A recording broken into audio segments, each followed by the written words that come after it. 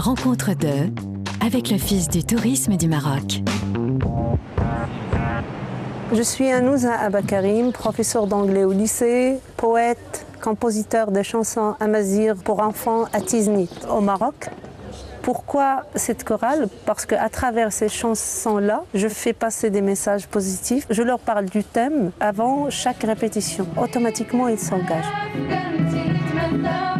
Ce sont des valeurs humaines. Par exemple, on a une chanson sur les droits de l'enfant et puis la protection de l'environnement. Ce sont des thèmes universels ou quoi?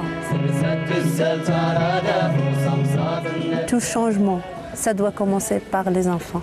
Je suis très heureuse de voir des enfants vouloir composer eux-mêmes, de jouer, de faire des mélodies. Donc c'est très intéressant déjà comme, comme résultat.